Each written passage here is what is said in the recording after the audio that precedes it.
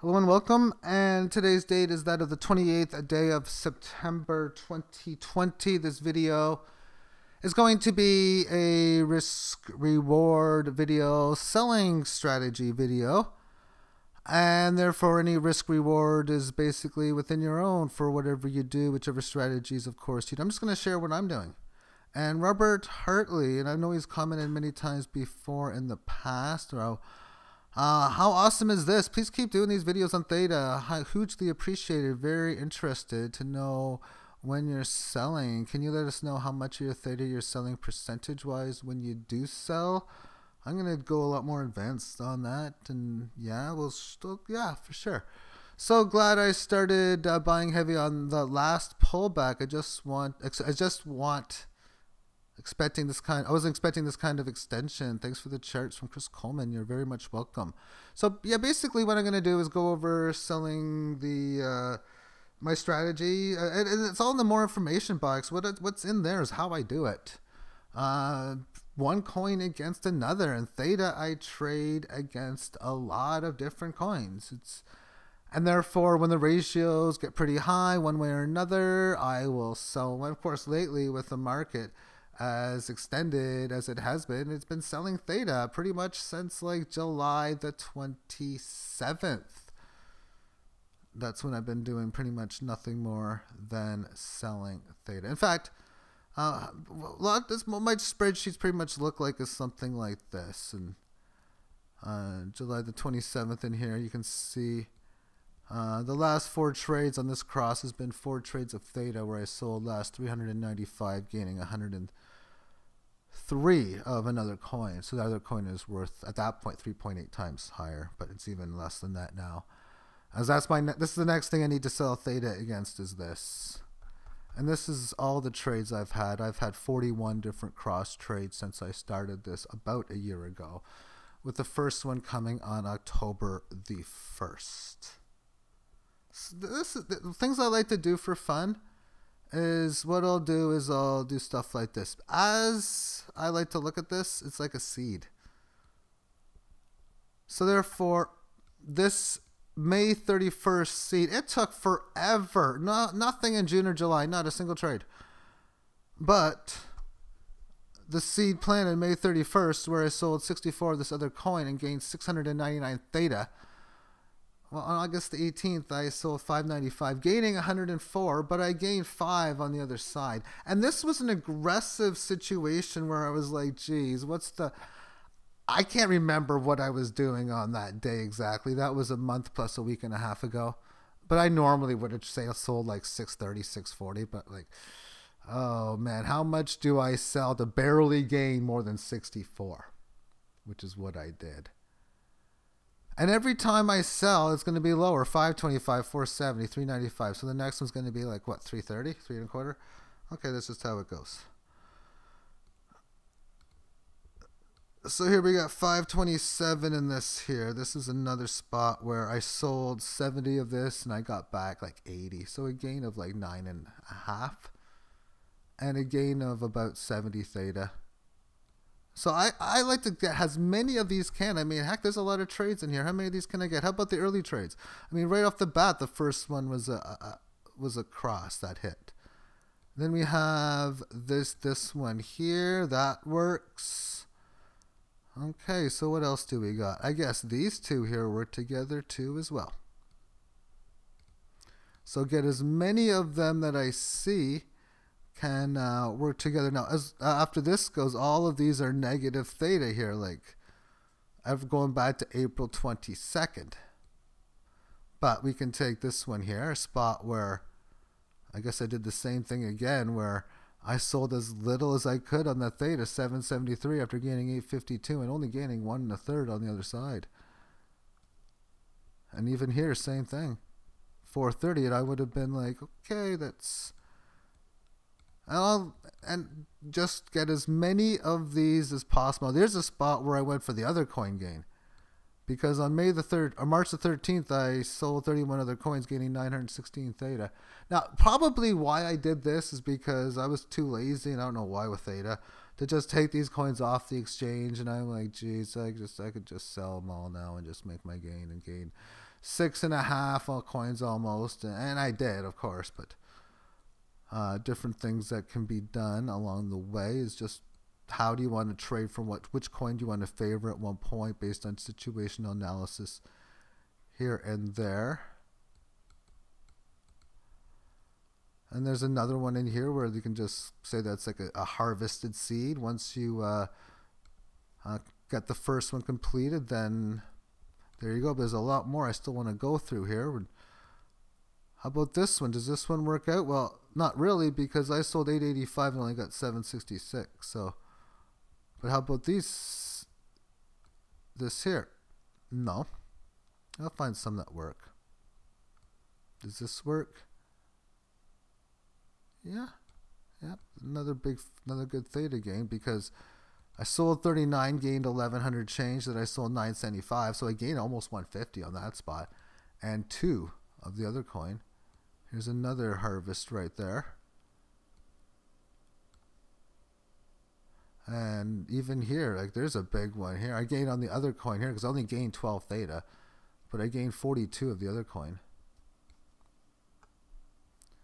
And in here we got this one as well. So, well, can we finish some of these oddballs? Get as few of these as possible on the left-hand side.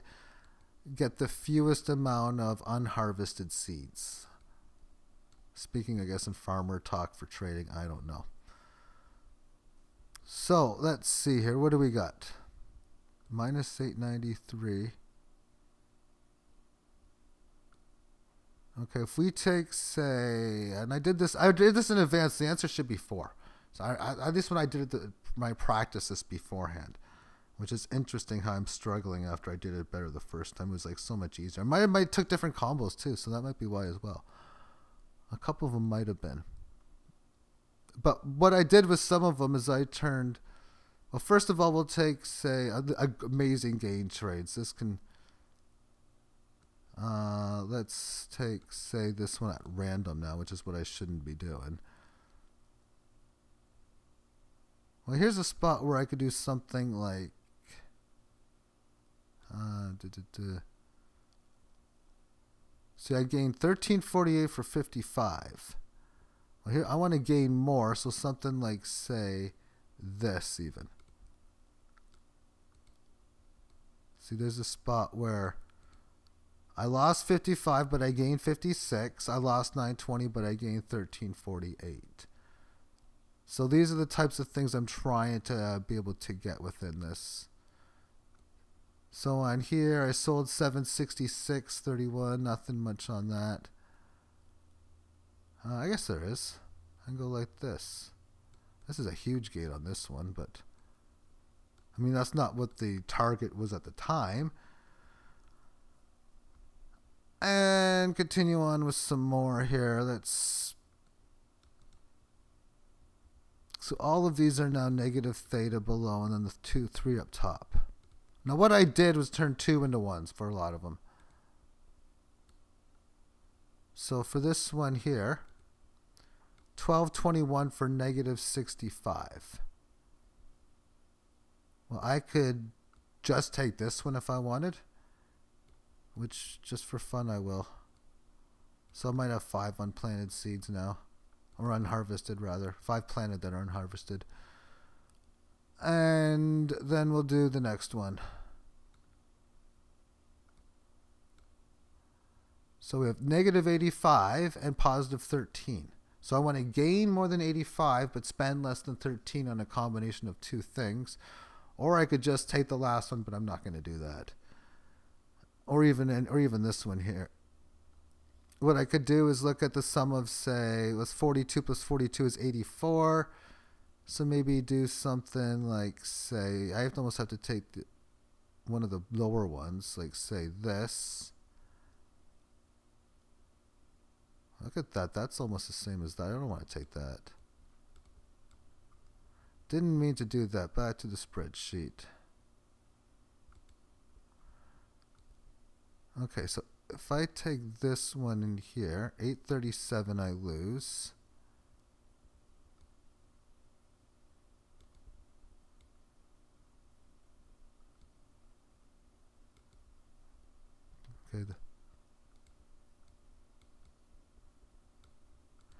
That would be a gate of, and you know what? The first time I did this, I did it so much better, easier, faster. Usually, I, I, I wanted to do it to make it a faster video when I set it up. So these all go together and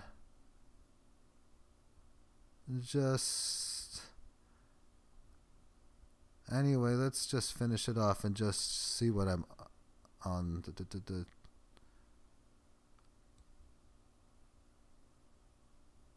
I suppose I'll just go like that. I mean the loss of a gain of 1300 and then I sell like 800 change I get back like 200 there. I mean that's just a sick trade but anyway that's uh see just on these ones in here I can see how many theta am I up? And the answer is 2344 and I've gained 280 coins of the other one in the process on the completed ones however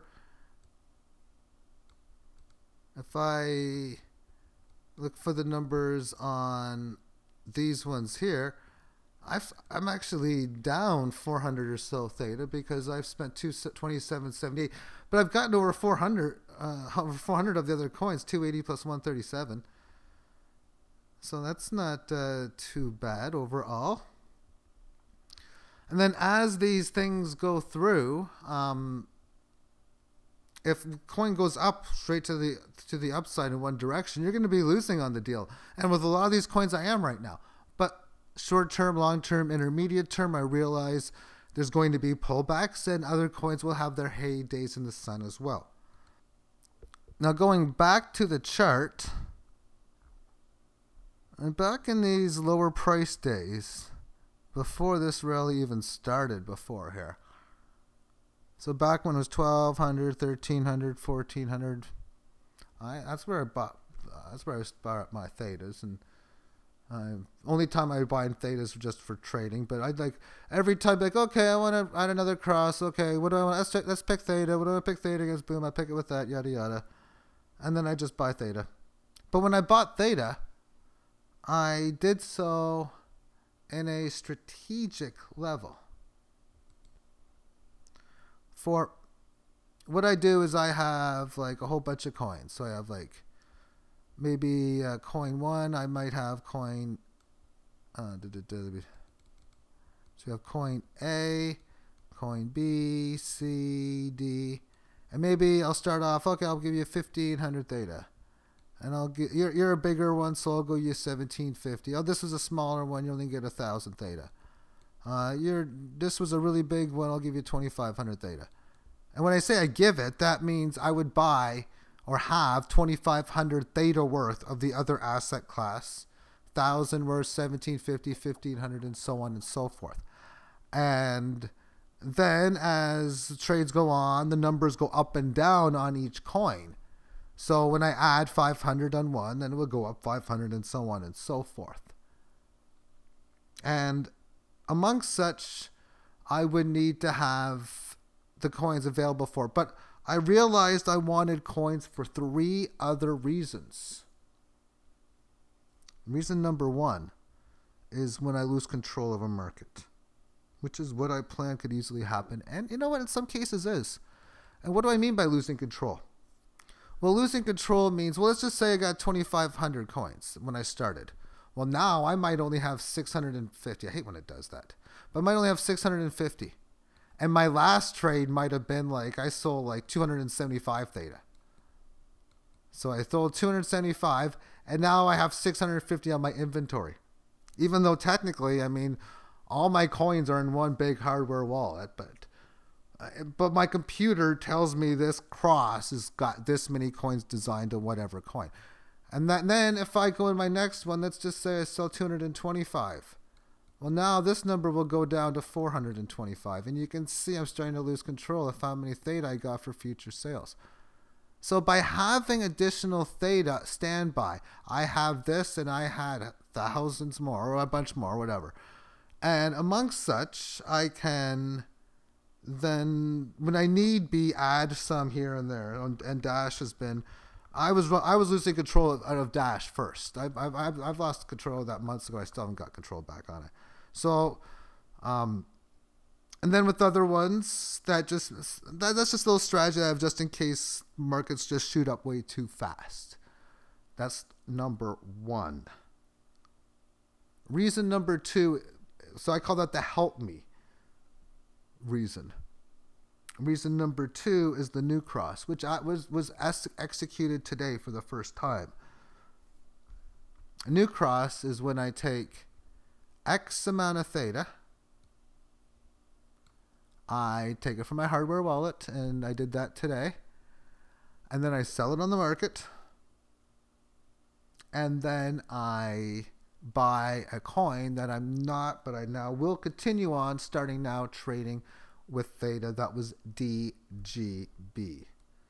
So I what I did is I sold that X amount of Theta for Bitcoin on Binance. Then I bought that amount on DGB and I withdrew that amount and put it in my hardware wallet. And the amount that I'm allocating to theta is X.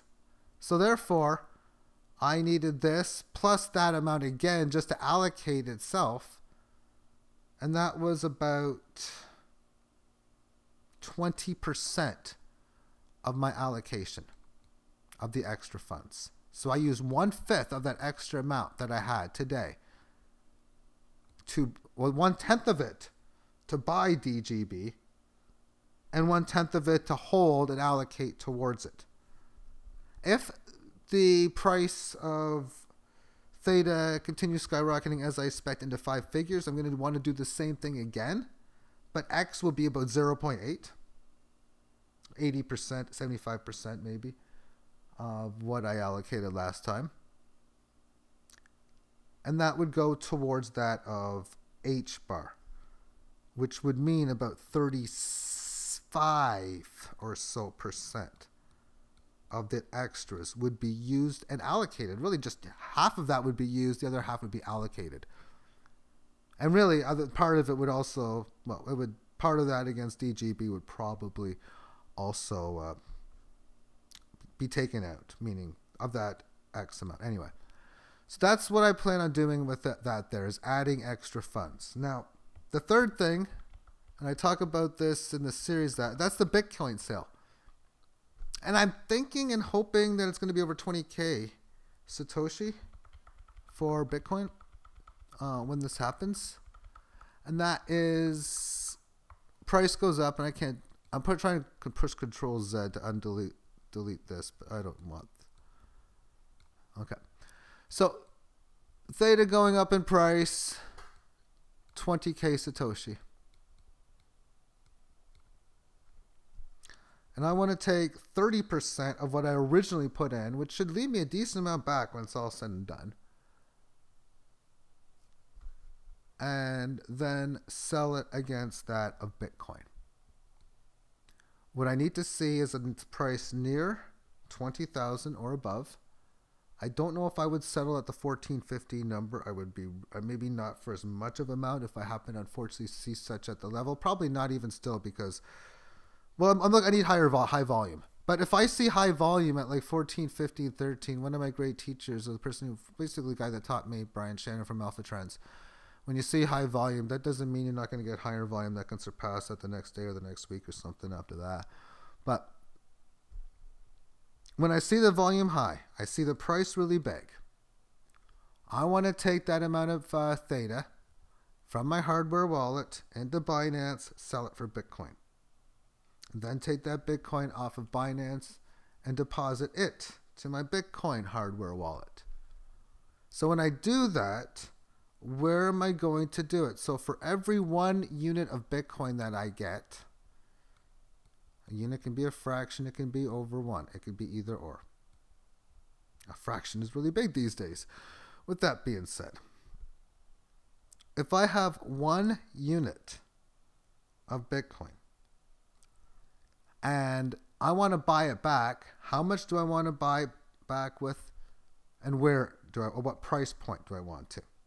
The first answer is how much. I want to keep some of it. So therefore, 20% of it, 15%, 30%, I can easily do something else I want that's not to do with theta. But I want to keep at least 70% of the Bitcoin that I deposit into my wallet and allocate it towards the pullback. And I want to buy twice on my pullback. Markets oftentimes come back to where they came from. And I and, and they can be very wild and aggressive. I've I've I've been around the territory a few times as far as seeing these charts. I've seen a thing or two. I know how the story goes or how the story has went, and will the story continue to play the same? We'll see. But it's going to go down after these great moves. That's a gimme, and it's going to go down harshly, and it, eh, it's just what it does. So what I want, this is why the 20 number, and it's really, I really 23, 22, 25 is where I really want to get this because I want over 50% off on my first buy. And I want to buy back at 10,000. Half of what I'm going to buy here. So I'll buy half at 10K and then between 5 and 6,000 I'd buy the other half because markets oftentimes will come back to where we came from. And according to this chart, well, we came from about between 4,000 and 6,000. So 6,000 is your conservative buyback. If, of course, what I say is going to happen actually happens because if it goes to 14,000, 18,000. And if this isn't the top, that's not going to happen. It ain't going to play itself out. But what happens if I say what happens doesn't happen because 23K ain't a top? Well, if I'm going to want to put in uh, that of about 30% originally into selling against Bitcoin, which I did and I'm already used 20% of it with an allocation for DGB, which means I probably use about 15% for H bar. That means I got one third left of what I allocated. Sweet. So, what's double the price of what I buy it from? Uh, my buy price times two. So once that number comes in and it's nicely above that number, I'll sell again. So if I sell it, say 23K Satoshi, double that is 46. I got to go well, well north of 50, probably even 60. And at that point, I'll sell some more. Four, if I sell at 23 and the price continues to go up and say it tops at 41, which means 44, 45, whatever, doesn't get to that number What's the chances in my mind, do I think, that if 44 is the top, that we're going to pierce below 23 and noticeably well? Well, if we're going to get to 23 after starting from like 1200, um, yeah, no, this gets, this just, uh, see here for a second.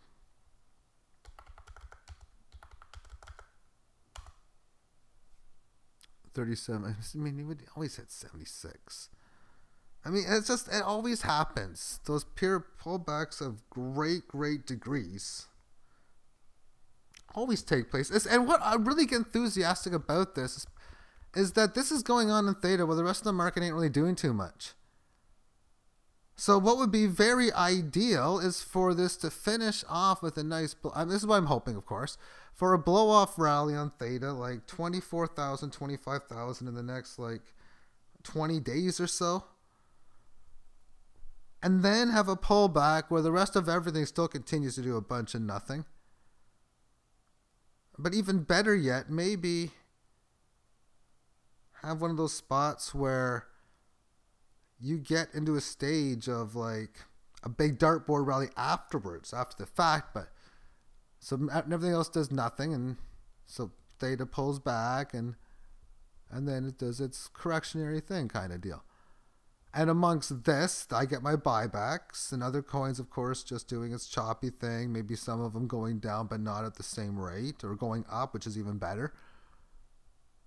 And then at this point, maybe a dartboard rally will start, and this will start going up, and the other ones maybe, hopefully, other coins will have pre. Maybe one coin will pre uh, have a pre move before the other, and oftentimes that will be the case in some cases, but uh, that makes no sense. Anyway, uh, I'm getting tired. I got to complete this video now and go and go to bed for the rest of the night. And well, night's over. Thank you for tuning in. Have yourself a great day. Bye bye.